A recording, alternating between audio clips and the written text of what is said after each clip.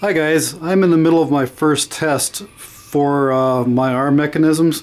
I'm trying to uh, kind of figure out how I'm going to build them, what I want to do with them, how I'm going to power them, uh, how they're going to be actuated. Um, I know what I want to do is um, basically their, uh, their arms for this B9 Lost in Space robot usually are retracted like this. Um, and uh, in the show, he would extend them, he'd bend them up, and then he also had a wrist uh, that went down, and at the end there'd be a, there's going to be a claw mechanism, and it's all going to be quite heavy. But I want him to move fast enough to looks real. Uh, full extension, he comes out about 24 inches. So I'm going to have a, a, joint right about 5 inches out, like that, and maybe about another 5 inches down. And these are going to be like U-joints, back and forth, back and forth like that. Um, don't have to have any kind of shoulder inside. Um, but um, see, I can have, well, let me turn the lights on in there. If I can. Okay, I got lights on in there so you can see I don't have a whole lot of room in there. It's about 5 inches round uh, to fit. So I need to get mechanisms to slide and joints that are less than um, the five inches and actually be able to articulate quite a bit and still have room in there and look real. So uh, my friend over in uh, the UK, I'm in the United States right now, sent me these cool little motors. Uh, I think it's pronounced Bosch or Bostish. Um, they're a 20 I'm sorry, a 12 volt motor inside, worm gear driven um, motor. And um, so I wasn't sure if they're going to be powerful enough or quick enough for me. Uh, they're, they're built to run on 12 volts. Uh, they have a built-in potometer in there. I think that's how you say it, a pot, a pot meter. And um, five connections. I've sawed off the housing that, that was on there to get at the pins better. Um, there's two wires here to come out, the power, two power wires right there. And these are the three uh, wires for the pot that's going to give me positioning patrol, uh, control through my EZB robot control board.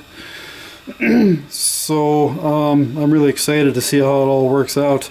Uh, the thing was when I ran 12 volts through it, it was really slow and I didn't like it. It wasn't going to be working out enough. Um, so I had to get a little uh, buck, um, I'm sorry, a boost. This actually is a buck um, transformer. It takes the power from 24, my 24 volt power supply that is back in there um, sends it through there. I can dial it down to 18 volts, which is kind of overvolt for this for this motor, but it, I think it's going to be okay.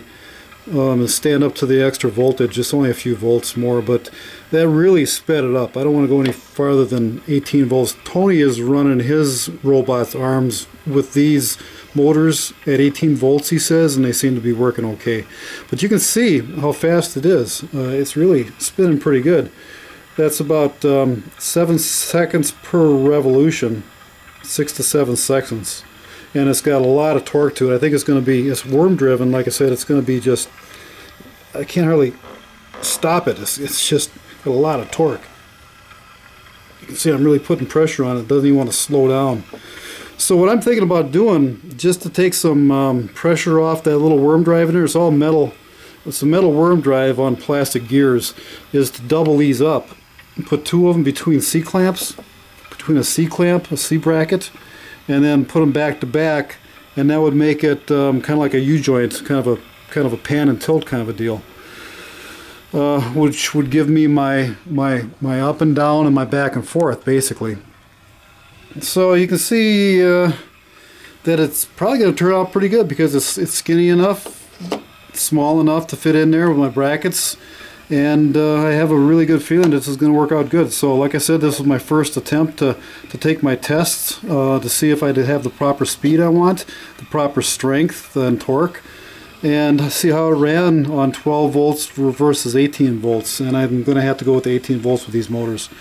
But what I really like about this is got the built-in pot uh, that'll give me feedback and position control. Um, for my EZB, I'm going to run it through a um, through a uh, H bridge and a kangaroo control board. What that'll do is, is uh, uh, H bridge Oh, by the way, there's my EZB right there.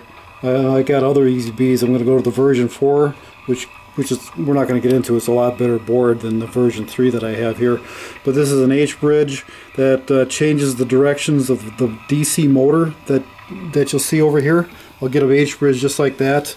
And the Kangaroo board, which uh, will turn it into basically a, a giant servo that um, the, the software on the EZB will be able to run better and uh, more easily manipulate and give it better movement and stuff and everything will work better uh, through that software. So anyway, this I just wanted to share this with you and show you what I've done so far and I'll keep you updated as I go along. Thanks for watching. Bye-bye.